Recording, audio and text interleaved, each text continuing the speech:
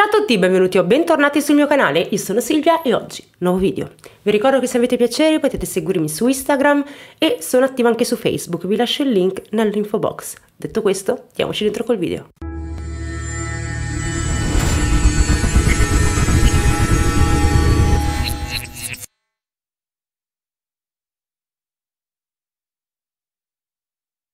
Un'infanzia traumatica, un'adolescenza travagliata e un futuro segnato dal crimine. Ecco alcuni tasselli che compongono l'oscuro mosaico del caso di oggi. Miranda Camille Dean nasce il 14 dicembre 1994 in Alaska, dove vive con sua madre Elizabeth, suo padre Sonny e sua sorella maggiore Ashley. Quando Miranda compie due anni si scopre che ha una displasia congenita, un'anomalia dello sviluppo. A causa di questa condizione piuttosto dolorosa, l'articolazione dell'anca nei bambini più piccoli non si forma correttamente. Miranda quindi deve indossare dei tutori per i fianchi e le gambe per circa tre anni nel tentativo di risolvere il problema. La bambina riesce a riprendersi da questa patologia e non molto tempo dopo suo zio Richard si trasferisce in città, un evento che le segnerà l'infanzia. Richard è sposato con la sorella di Elizabeth, che è la mamma di Miranda, e la coppia ha una figlia che è quasi coetanea della bambina. Per questo motivo Miranda e sua sorella maggiore Ashley passano spesso del tempo a casa degli zii, ma purtroppo quelli non sono pomeriggi dediti a giochi spensierati perché le due sorelline in quell'oscura dimora vengono sottoposte a orribili abusi.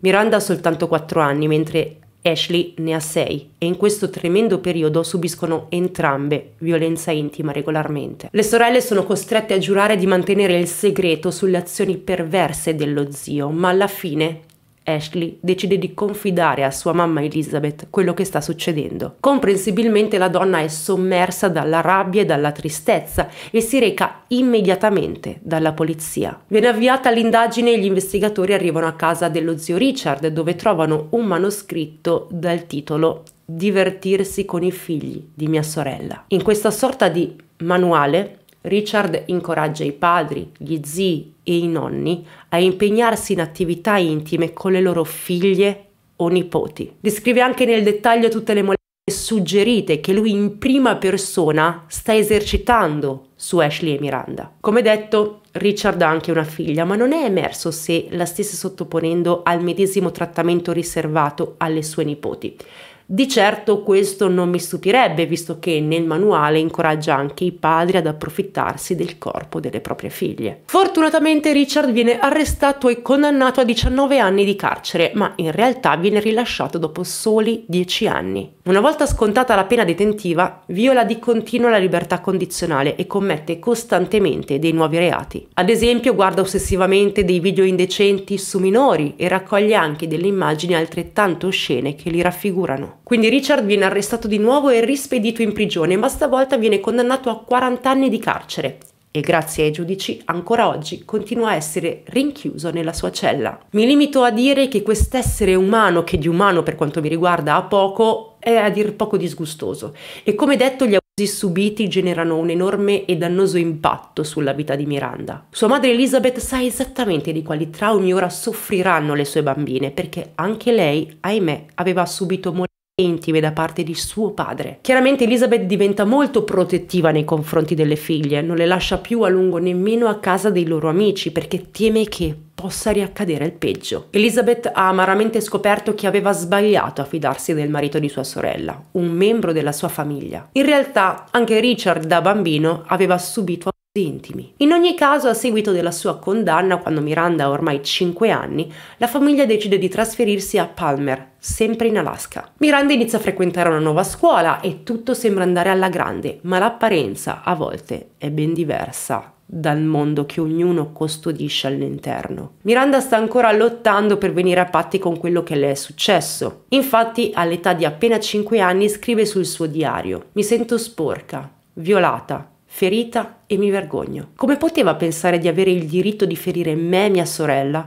Volevo che soffrisse più di quanto aveva ferito me. Il tempo passa e quando Miranda compie 12 anni la sua vita prende un'altra svolta negativa, perché la ragazzina scappa di casa per la prima volta. In questo periodo ha incontrato un uomo di 25 anni di nome Forrest, che risulterebbe essere il leader di una setta satanica. Non è noto quanto tempo Miranda rimanga fuori casa, ma quando torna racconta tutto a sua madre di questo Forrest e lo descrive come il suo proprietario. Sulla 7 in realtà non vengono riportate delle informazioni specifiche e non emergono delle prove che ne accertino l'esistenza. Non sappiamo neanche se quest'uomo di nome Forrest sia reale, tutto è limitato al racconto di Miranda, una dichiarazione che potrebbe non rispecchiare appieno la verità. Questo anche perché, come dovete sapere, Miranda è una bugiarda patologica. È dodicenne continua a scappare di casa, a stare via per due o tre giorni, sempre in compagnia di Forrest e a frequentare la sua setta. Appena inserita in questo pericoloso gruppo, Miranda inizia a bere alcolici, ad assumere sostanze,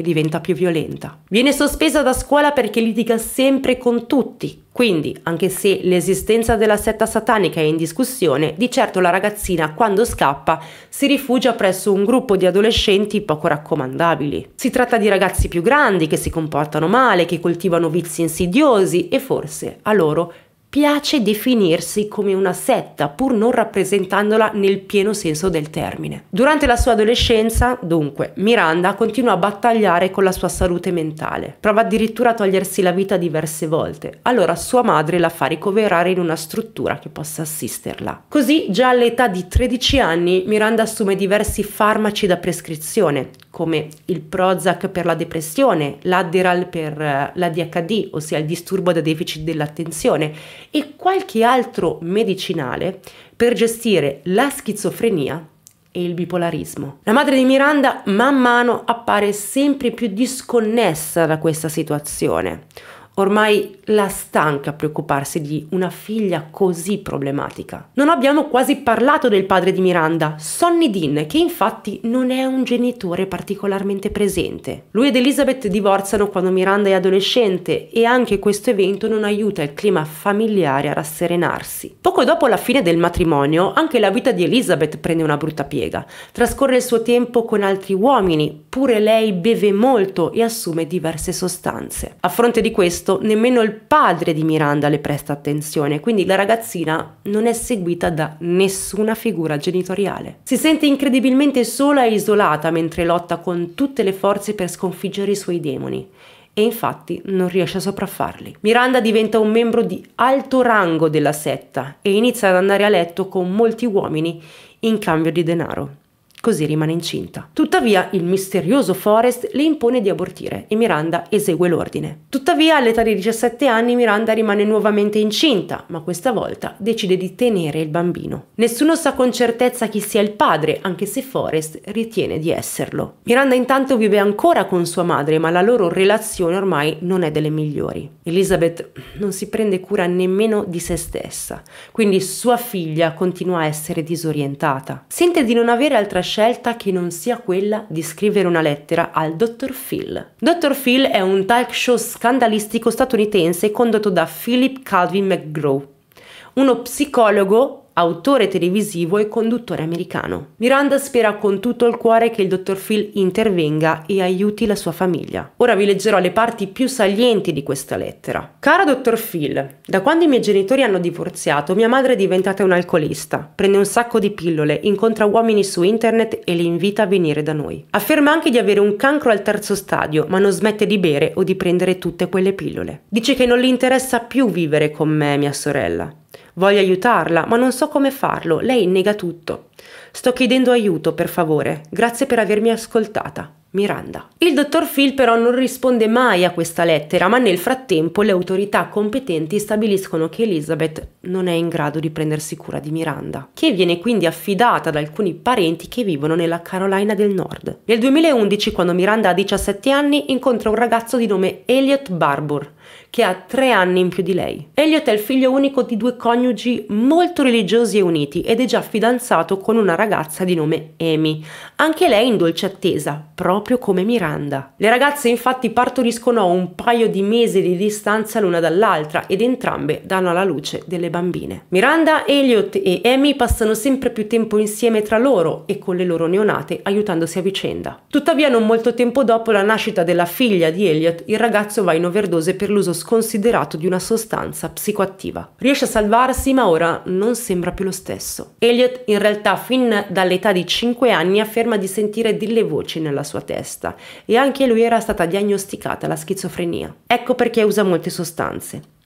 E sostiene che quando è alterato queste voci si fermino. Purtroppo quando Elliot si riprende non smette di bere e di consumare sostanze, anzi lo fa ancora più spesso diventando sempre più violento e aggressivo. Questa situazione porta Elliot e Amy a litigare costantemente, infatti la coppia decide di lasciarsi. Il ragazzo subito dopo la rottura inizia una relazione con Miranda, anche se alcune voci riportano che i due fossero già amanti quando Elliot era impegnato con Amy. Miranda ed Elliot hanno legato pure perché lui è particolarmente ossessionato dall'occulto e dal satanismo. I due vivono anche dei rapporti intimi particolari, per non dire lesioni infatti si procurano delle ferite a vicenda tagliandosi e unendosi nell'atto quando entrambi iniziano a sanguinare. La relazione tra i due si intensifica piuttosto rapidamente, infatti non passa molto tempo prima che diventino ossessionati l'uno dall'altra. Circa un anno dopo, quando Miranda ha 18 anni, lei ed Elliot scappano e si sposano senza dirlo a nessuno. Una volta tornati a casa da marito e moglie, comunicano la loro decisione di lasciare la Carolina del Nord. Così Elliot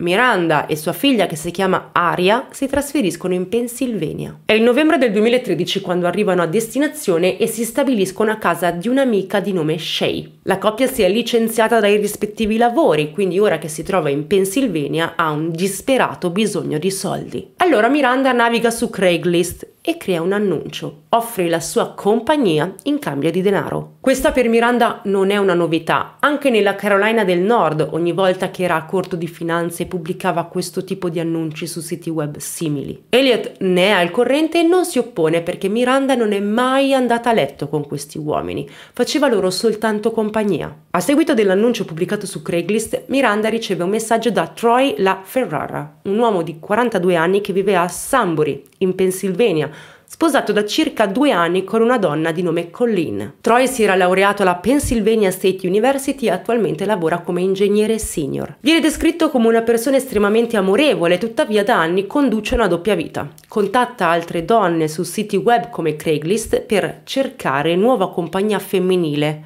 ma non solo vuole anche consumare dei rapporti intimi. Miranda e Troy organizzano un incontro pattuendo che lui dovrà pagarla 100 dollari, ma Troy ignora il vero piano di Miranda e del suo fidanzato Elliot, che stanno addirittura progettando di ucciderlo. E non intendono farlo perché Troy si è comportato male, ma soltanto per assecondare il loro macabro e perfido desiderio di ammazzare qualcuno. La coppia infatti discuteva da un po' di voler fare qualcosa di estremo e ha concluso che commettere un delitto sia una buona idea. Vogliono farlo e ora ne hanno l'occasione. Troy, seguendo le direttive di Miranda e all'oscuro della presenza di Elliot, sa che dovrà incontrarla in un parcheggio. Miranda, secondo il piano, farà salire Troy a bordo della sua macchina, mentre Elliot rimarrà nascosto sul sedile posteriore. Miranda guiderà verso una zona più appartata, dicendo a Troy che è adatta per consumare il loro incontro, tuttavia lungo il tragitto la vittima verrà uccisa. Quando Miranda pronuncerà la frase in codice che hanno concordato, cioè hai visto le stelle stasera? Elliot salterà fuori dal nascondiglio per attaccare Troy. L'11 novembre del 2013 Troy incontra Miranda nel parcheggio indicato e sale nella sua auto. I due viaggiano per 6 miglia fino a raggiungere la seconda casa di Troy. Quello è il luogo dove hanno scelto di appartarsi. Elliot intanto è sdraiato sul sedile posteriore sotto una coperta, quindi Troy non ha idea che ci sia qualcun altro in macchina. Mentre Troy e Miranda chiacchierano, lei gli mente dicendo che in realtà ha solo 16 anni e non 18, ma Troy risponde che non gli importa. questo sempre a detta di Miranda. Miranda quindi continua a guidare. A un certo punto esclama la frase in codice, ovvero Hai visto le stelle stasera? Tuttavia, Elliot non entra in azione come concordato. Forse non l'ha sentita, o forse vuole tirarsi indietro? Allora Miranda, sempre più vicina alla seconda casa di Troy, ripete la frase in codice, ma ancora Elliot non interviene. A questo punto Miranda si gira e dà un pugno sulla gamba di Elliot per attirare la sua attenzione e farlo agire. Soltanto ora Elliot sbuca dalla coperta e attacca Troy. Afferra un pezzo di cavo della TV che si era portato dietro e lo avvolge attorno al collo della vittima, seduta sul sedile anteriore del passeggero. Elliot cerca di strangolare Troy, ma l'uomo reagisce. Miranda capisce che Elliot non ha il controllo della situazione, allora afferra un coltello e inizia a pugnalare Troy. Lui però non si dà per vinto, riesce ad aprire la portiera della macchina e a mettere una gamba fuori nel tentativo di slanciarsi dal veicolo. La luce all'interno della l'abitacolo è accesa, la strada che percorrono è piuttosto trafficata, quindi Miranda teme che qualcuno possa osservare questa scena. Così urla Elliot: La portiera è aperta, chiudila! Miranda rallenta l'avanzata, Elliot scende dall'auto e spinge la gamba di Troy all'interno del veicolo. Nel frattempo Miranda non ha mai smesso di pugnalare la loro preda, infatti quando Elliot risale a bordo Troy è già stato colpito per un totale di 20 volte. Troy ormai non è più in grado di lottare, sta sanguinando copiosamente, ansima e alla fine viene a mancare a causa delle ferite riportate. A questo punto Elliot e Miranda cercano di coprire l'omicidio, guidano fino a raggiungere un vicolo a un paio di isolati evacuati dal luogo dell'aggressione e scaricano il corpo di Troy. In realtà si presume che Troy fosse ancora vivo quando è stato barbaramente abbandonato, il che è così triste. Forse sarebbe riuscito a sopravvivere se gli avessero prestato soccorso immediatamente. Inoltre, prima di allontanarsi, i due assassini gli rubano il portafoglio, che all'interno contiene 150 dollari. Poi si dirigono verso l'ipermercato Walmart più vicino per comprare dei prodotti per la pulizia della macchina. Come potete immaginare, si è trattato di un attacco piuttosto frenetico, dunque c'è sangue sparso ovunque. Elliot entra da Walmart e compra dei sacchi della spazzatura, degli asciugamani di carta, la candeggina e un detergente per tappeti. In auto, i due criminali raggiungono una zona isolata e iniziano a pulire il veicolo. Una volta terminato, decidono di concedersi un bel pasto usando il resto dei 150 dollari sottratti a Troy.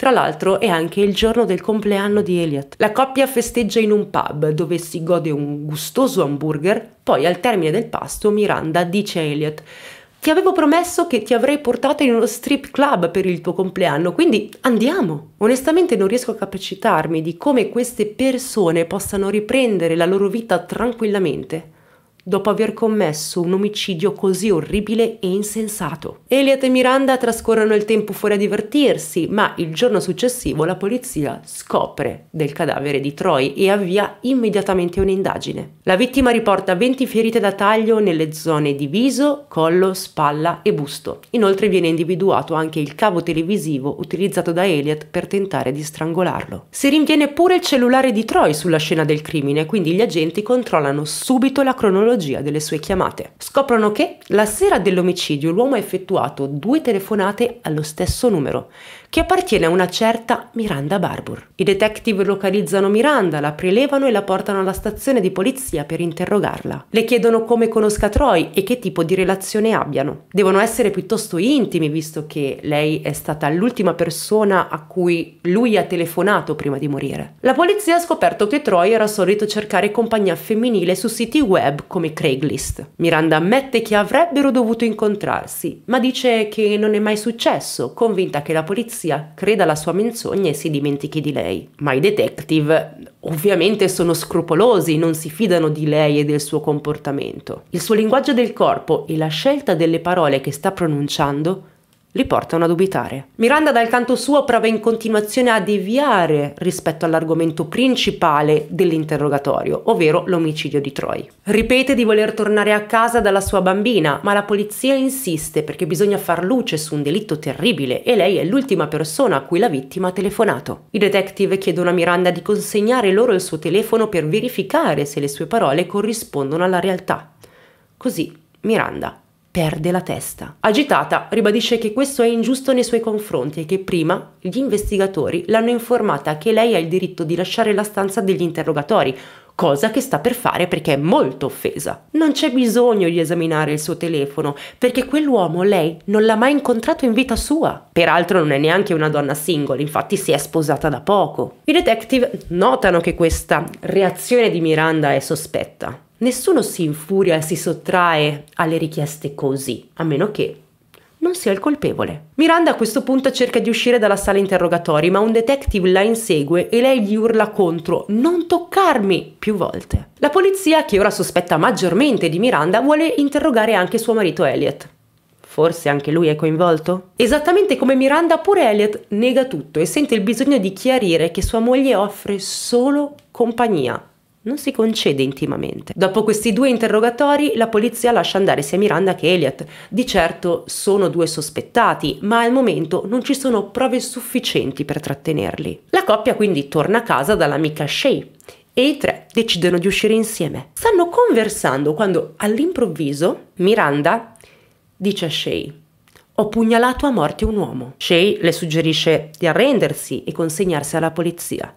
E sorprendentemente Miranda è d'accordo. I tre rientrano a casa, Miranda va a salutare sua figlia e nel frattempo Elliot scoppia in lacrime. Cerca di trattenere sua moglie, ma la ragazza è convinta, esce di casa e si dirige alla stazione di polizia. Sono circa le 4 del mattino quando Miranda arriva, ma alla fine non confessa la pura verità. Spiega che sì, si è incontrata con Troy, ma inventa che quando lui è salito nella sua macchina l'ha aggredita per cui lei l'ha ucciso per legittima difesa. La polizia ascolta la nuova versione di Miranda e la reputa poco convincente. I conti non tornano, quindi i detective decidono di riparlare con Elliot. La polizia, intanto, è riuscita a ottenere le riprese di alcune telecamere a circuito chiuso che mostrano Miranda, Troy ed Elliot insieme in macchina. Quindi, nel momento in cui i detective parlano con Elliot, lo avvertono di questi filmati Dunque non può più mentire. Elliot allora pronuncia queste esatte parole. Oh cavolo, immagino che il gioco sia finito. Poi si alza, recupera una sigaretta e aggiunge: Suppongo che questa sarà l'ultima che fumerò da uomo libero. Il detective adesso è alquanto confuso perché stava indagando sulla storia dell'autodifesa di Miranda e non pensava che Elliot fosse coinvolto a tal punto. Il ragazzo, ricondotto nella sala interrogatori, stavolta confessa tutto. Rivela che lui e Miranda stavano pianificando l'omicidio di Troy, quindi la polizia scopre che si è trattato di un delitto premeditato. I detective continuano a interrogare Elliot, vogliono sapere cosa fosse successo nel dettaglio e il ragazzo li accontenta, esponendo tutto con estrema freddezza. Spiega il modo in cui aveva attaccato Troy e rivela pure che dopo l'omicidio omicidio aveva mangiato un delizioso hamburger insieme a Miranda. Sembra quasi che Elliot non riesca a cogliere la gravità di quello che ha appena confessato. Sia Miranda che Elliot vengono arrestati e accusati di omicidio, anche se la polizia non conosce il movente che sta dietro il delitto. Dato che la coppia aveva rubato il portafoglio di Troy, si ipotizza che tale movente abbia una natura finanziaria e questo vuol dire che i due assassini potrebbero aggiudicarsi la pena di morte. Nell'istruttoria del processo sia Elliot che Miranda si dichiarano non colpevoli, nonostante Elliot avesse confessato tutto. I media a questo punto impazziscono per il caso, specialmente nell'interessarsi a Miranda. Mi capita spesso di apprendere che quando l'assassina è una donna, ai giornalisti esalta particolarmente sensazionalizzare il tutto. A volte tendono addirittura a romanzare e drammatizzare il vissuto della protagonista. Tra l'altro emerge la notizia che Miranda facesse parte di una setta satanica e questo è un argomento che i media presentano sempre con grossi titoloni da prima pagina. Miranda dal canto suo cavalca l'onda in cerca di attenzioni, vuole assicurarsi di avere il suo momento sotto i riflettori, esternando la storia perfetta. La ragazza richiede un'intervista con un giornalista, al quale rivela che quello non è affatto il suo primo omicidio, bensì afferma di aver commesso più di 20 delitti. Quindi è una serial. Non ci sono prove che supportino questa sua affermazione, eppure tutti ci credono. Se fosse vero, Miranda sarebbe la serial più prolifica della storia moderna degli Stati Uniti. Miranda dice al giornalista che si era macchiata del suo primo omicidio a 13 anni, quando si era unita a quella setta satanica. Spiega che Forrest è colui che le aveva mostrato come uccidere e l'aveva aiutata a compiere il suo primo delitto. Le aveva spiegato come attirare un ragazzo che l'avrebbe pagata in cambio di un rapporto intimo e si era diretta con la sua preda in un vicolo. A questo questo punto il leader della setta, ovvero questo Foster, era spuntato dietro Miranda e aveva sparato al ragazzo adescato che era piombato a terra. Poi Forrest aveva passato la pistola a Miranda e le aveva detto ora devi farlo tu ma lei non era riuscita a premere il grilletto. Così Forrest aveva appoggiato la propria mano sulla sua e l'aveva incoraggiata a compiere il gesto letale. Questo è ciò che racconta Miranda. A seguito di questa intervista un rappresentante della Chiesa di Satana si fa avanti per prendere le distanze da Miranda. Afferma che la ragazza mente perché non è in alcun modo affiliata alla religione satanista e non riflette affatto le loro convinzioni. Miranda dal canto suo insiste con la storia dei molteplici omicidi commessi. Sostiene che i corpi delle sue vittime si trovino nascosti in tutti gli Stati Uniti, che li aveva seppelliti in Alaska, in California, in Texas e in Florida. Miranda però precisa che ogni singola persona che ha ammazzato aveva un'indole cattiva e meritava di morire. Ad esempio aveva ucciso Troy perché gli aveva detto che lei aveva soltanto 16 anni, ma a lui non importava che fosse così giovane, era ugualmente deciso a portarla a letto. Anche Elliot viene coinvolto e conferma la storia secondo cui Miranda avrebbe ucciso più di 20 persone. Ma non è finita qui, sentite.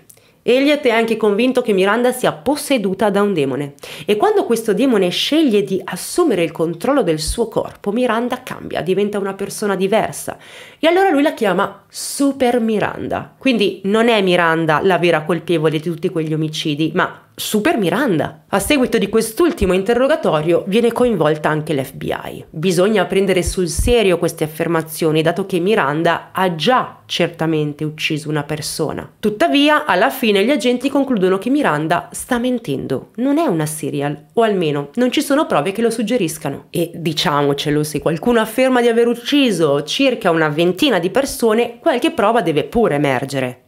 Anche perché quando Miranda ha assassinato Troy, è stata catturata letteralmente il giorno successivo. Anche il padre di Miranda viene ascoltato dalla polizia e lui afferma che sua figlia non è una serial, piuttosto è una bugiarda seriale. E anche la sorella Ashley la definisce come una maestra nel mentire, al punto che si ispirava al personaggio televisivo Dexter, che è un serial. In ogni caso Miranda ed Elliot devono affrontare il processo per l'omicidio di Troy. Vi ricordo che entrambi si erano dichiarati non colpevoli e mi chiedo con quale faccia. Infatti decidono di cambiare la loro dichiarazione in colpevoli di omicidio di secondo grado così da poter evitare il processo e nello specifico la pena di morte. Vengono condannati entrambi all'ergastolo, ma questa storia non finisce qui perché torniamo a parlare del dottor Phil. Nel 2014 la sorella di Miranda e sua madre, quindi Ashley ed Elizabeth, appaiono proprio nello show del dottor Phil. Durante questa puntata Ashley incolpa sua madre per tutto, spiega che sua sorella all'età di 13 anni scappava di casa e stava fuori anche per tre giorni. Intanto sua madre ignorava quei segnali d'allarme evidenti.